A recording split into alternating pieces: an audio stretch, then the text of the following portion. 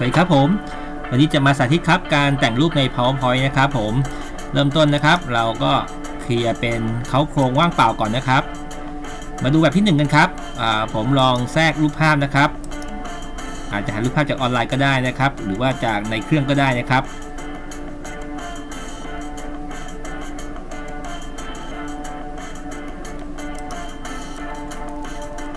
สมมติว่าต้องหารูปภาพที่เป็นรูป พระอาทิตย์ตกนะฮะสมมตินะครับอ่าผมได้มาหนึ่งรูปนะครับ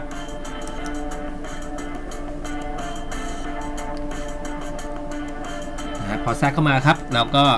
2016 จะมีดีไซน์ไอเดียนะครับในการที่จะช่วยเราปรับขนาดครับให้เต็มหน้าจอได้นะครับอ่านี่คือแบบที่1ฮะเราก็ใส่รูปภาพให้เต็มหน้าจอนะครับ เราขยายนะครับด้านข้างให้ภาพนี้ครับ ใหญ่กว่าตัวสไลด์นิดหนึ่งนะครับผมนะครับให้ใหญ่ขึ้นมานิดหนึ่ง วิธีที่แรกก็คือเราทำแอนิเมชันนะครับผม เราก็มาทำที่แอนิเมชันนะครับ add animation นะครับ เราจะใช้ 2 อันรวมกันนะคืออันที่หนึ่งก็คือเป็น motion part นะครับ motion part นะฮะให้มาทางขวาก็ได้ครับผมซ้ายไปขวานะครับอ่าถ้าเรื่องอย่างนี้ครับผมผมเปิดมาหน้าต่างนิดนึงนะครับ เห็นตัวหนึ่งบรรทัดนะครับผม อันที่ 2 ก็จะเป็นการซูมนะครับผมเกรนโกรชิงนะครับหรือแบบนี้เนื่องจากเราขยายไว้นะฮะ ก็ปรับขนาดจากโกรชิงนี่คือมาที่ Effect Option นะครับ จากที่ขยายใหญ่ขึ้นมานะครับ เป็น 150 แล้วก็อาจจะเป็นการย่อลงไปนะครับ เหลือสัก 90 ก็ได้นะครับตอบตกลงนะครับผม ทีนี้เราลองเพลย์สอันดูพร้อมกันนะครับ อันนี้ให้เขาเล่นพร้อมกับก่อนหน้านะครับ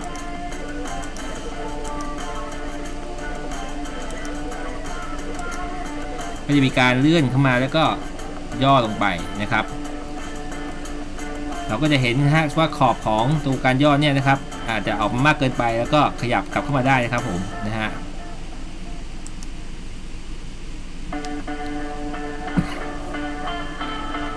ลองขยายมาอีกนิดนึงนะครับ เพื่อให้ภาพใหญ่ขึ้นนะครับอันนี้ก็จะดูว่าอ่านะครับก็จะไม่มีการล้นขอบเป็นต้นนะครับ แบบที่2นะครับผมก็คือเราเอามาเพิ่มนะครับ แทรกนะครับ รูปร่าง เราก็เลือกนะครับเป็นรูปร่างที่เป็นทรงแหลมๆอย่างนี้นะฮะผมอาจจะลากเข้ามาดูงี้ครับ วางเข้าไปเลยนะฮะ อ่า นี่ครับ ตรงสีเหลืองๆนี่เราสามารถดัดได้ครับผม ให้เขาโค้งน้อยโค้งมากนะครับ แล้วเราก็แทรกกล่องข้อความนะครับ อาจจะบอกว่า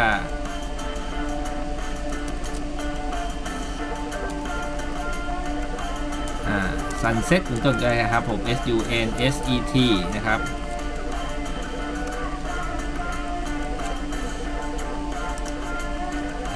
นหนึ่งก็จะเป็นสถานที่สมมุตินะครับเป็น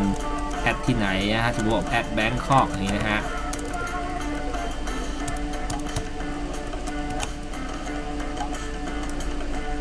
เราก็เอา 2 อันนี้มาจัดเรียงนะครับผมวางเข้าไป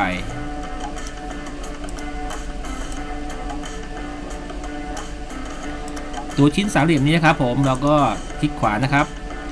format shape นะฮะ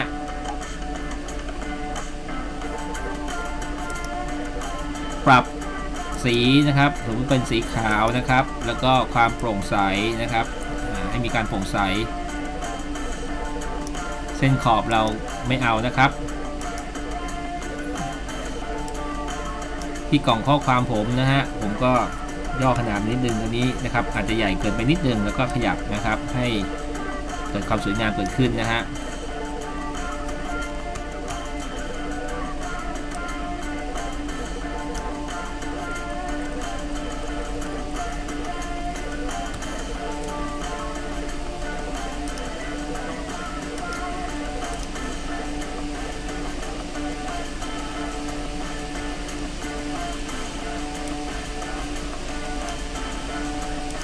เคนะครับ นี่ก็คือเป็นการขยับงานนี้ฮะเสร็จแล้วนะครับผมก็สามารถที่จะสั่งแอนิเมชันเพิ่มเติมนะครับผมกรุ๊ปตัวนี้ก่อนนะครับ Ctrl G นะครับ ผมสั่งให้มีแอนิเมชัน Fly In เข้ามาครับผมอ่านะครับจากล่างขึ้นบนก็ได้นะครับทีนี้ผมลองเล่นให้ดูนะฮะอันแรกปึ๊บนะฮะแล้วก็มีเรื่องของไฟล์อินเข้ามานะครับ หรืออาจจะให้เกิดขึ้นพร้อมกันก็ได้นะครับ with previous นะฮะ แล้วก็ดีเลยนิดหนึ่งนะครับ ขออีกครั้งฮะปึ๊บ นี่นะครับก็จะเห็นภาพนะครับของการขยายเข้ามาเงี้ยเลื่อนทางขวาแล้วก็ซูมเข้าไปนะครับนี่แบบที่1นนะครับผม แบบที่ 2 นะครับสมมติผมใช้ภาพเดิมก็ได้นะฮะ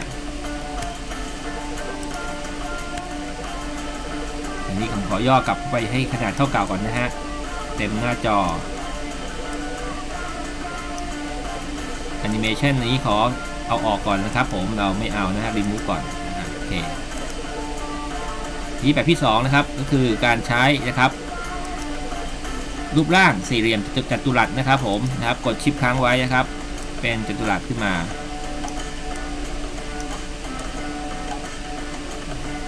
วางกึ่งกลางนะครับ แล้วก็เราก็มา fill นะครับ ผมเป็นสีออกเทาๆก็ได้นะครับ เส้นขอบไม่มีนะครับ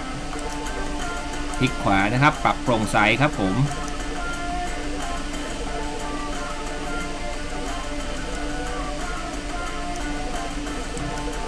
แล้วเราก็มาใส่กล่องข้อความเหมือนกันนะครับผมนะครับสมมติถ้าผมใช้ของข้อความเดิมนะครับ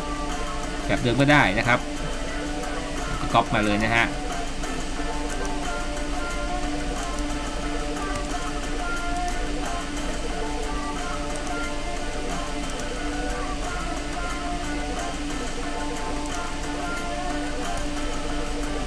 อีแอนิเมชันง่ายนิดเดียวครับผมก็คือนะครับแอนิเมชันนะฮะเป็นแอนิเมชันแบบ Fly In นะครับผมให้มาจากด้านบนนะครับ หรือด้านล่างก็ได้นะฮะอ่าด้านบนดีกว่าจะสวยกว่านะครับ บนลงล่างนะครับ แล้วก็ให้ช้าๆนะครับ ลงมาแบบอัตโนมัตินะครับ เราก็ได้รูปแบบประมาณอย่างนี้ครับ ผม อันนี้ก็เป็นแบบที่ 2 นะครับผม แบบที่ 3 นะครับ อาจจะขอรูปภาพนะครับอ่าที่เป็นถือว่าเป็นลายลายไม้นะครับผม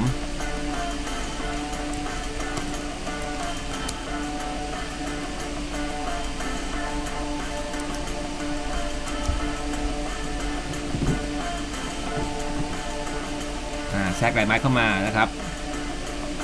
แล้วก็ขยายเต็มหน้าจอนะฮะ อันนี้ก็ใช้แบบง่ายๆครับผมก็คือแทรกนะครับผม เป็นรูปร่างนะครับ สี่เหลี่ยมธรรมดาเลยนะครับ แล้วก็พิมพ์ข้อความเข้าไปนะครับ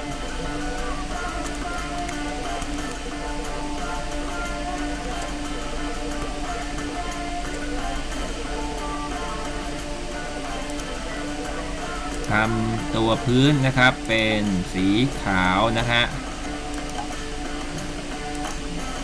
เส้นขอบเราก็ใส่สีเทาๆก็ได้นะครับ แล้วก็ใส่แสงเงานิดนึงนะครับ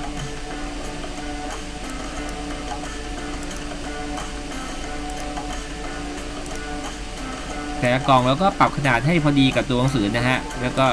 ลากมาอีชิ้นหนึ่งอย่างนี้ครับผม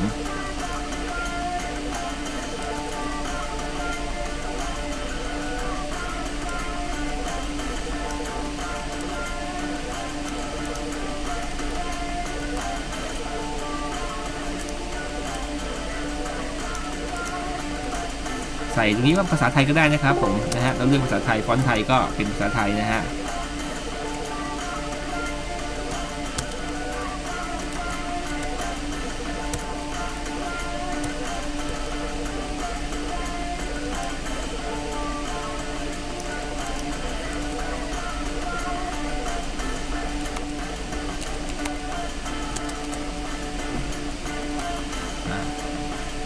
ี่เราลองทำแบบ เล่นดูนะครับอันนี้ก็จะเป็นประมาณนี้ครับผมก็จะได้เป็นรูปแบบการแต่งนะครับสไลด์นะครับรูปแบบนี้นะครับ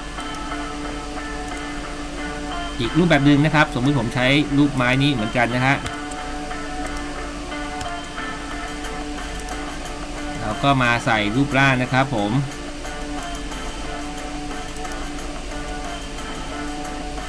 สี่เหลี่ยมเข้าไปหนึ่งอันนะครับ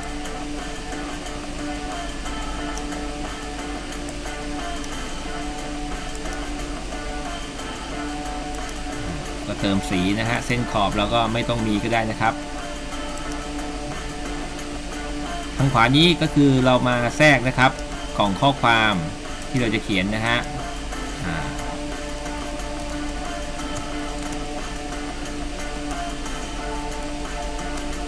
ผมเขียนแฮปปี้นะครับผม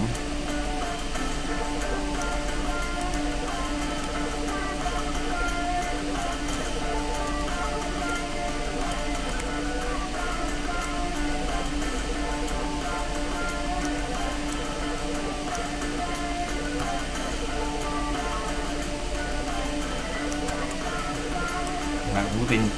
คำพูดลอยขึ้นมาตรงนี้นะครับ ทีนี้เราก็มาทำนะครับรูปร่างนะครับ สี่เหลี่ยมนะครับ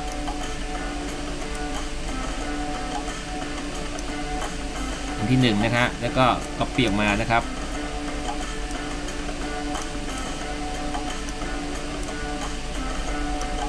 ย่อขนาดเข้าไปเป็นงี้นะครับผม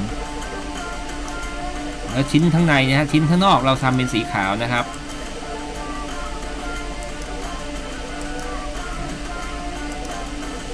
ส่แสงเงาให้ด้านนอกด้วยนะครับ ส่วนชิ้นด้านในนะครับ เราก็เติมสีด้วยรูปภาพครับผม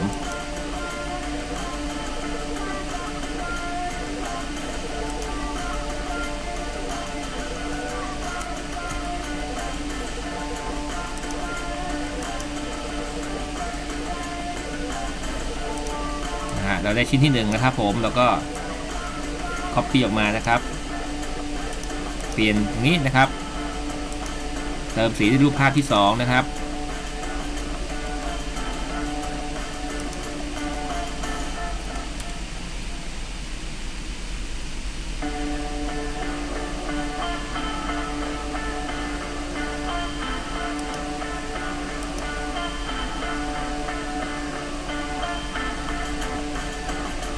ก็สำเนาอีกชุดหนึ่งนะครับผม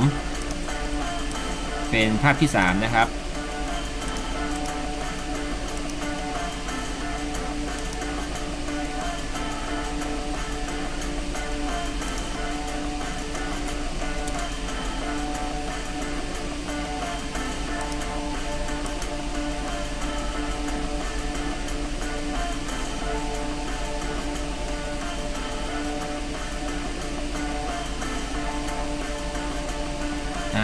ครับผมนะฮะสมมติเราได้ 3 รูปนะฮะแต่ละรูปเราก็ทำการกรุ๊ปรวมกันนะฮะ Ctrl G นะครับผมรูปที่ 1 ได้แล้วนะครับ รูปที่ 2 ก็ Ctrl G นะครับ รูปที่ 3 ก็ Ctrl G เช่นเดียวกันนะฮะแล้วเราก็ทีนี้ก็จะหมุนได้ครับผมครับปรับว่าให้เขาเอียงด้านไหนเงี้ยครับสมมตินี้ไว้หลังสุดก็ส่งไปไว้ข้างหลังนะฮะอันนี้โอเคครับ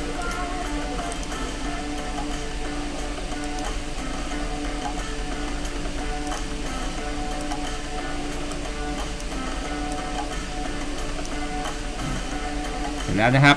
3 ชิ้นนี้นะครับเราก็สั่งไฟล์ in เข้ามาครับผม animation นะครับ add animation ไฟล์ in นะครับ เราก็สั่งให้ตามกันมานะฮะ after previous นะครับ ให้ตัวนี้มาก่อนถูกแล้วนะฮะ นี่ชิ้นที่ 2 นี่ชิ้นที่ 3 นะครับผม แต่ชิ้นแล้วก็กำหนดทิศทางนี้ขึ้นมา อันนี้จากด้านบนลงมาสมมตินะครับ นนี้ก็จากด้านขวาล่างนะครับ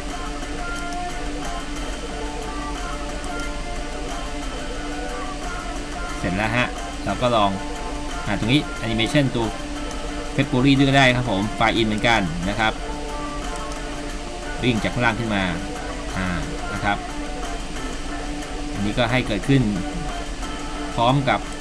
ก่อนหน้านะครับ ตอนที่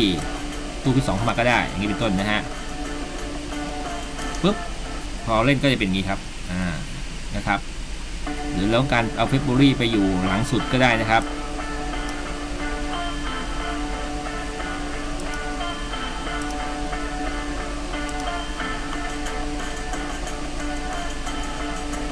แล้วก็มีการนำเสนอนะครับรูปแบบนะครับ 4 แบบนะครับในการแต่งภาพนะครับวันนี้นะครับ ลองเอาไปทำกันดูนะครับ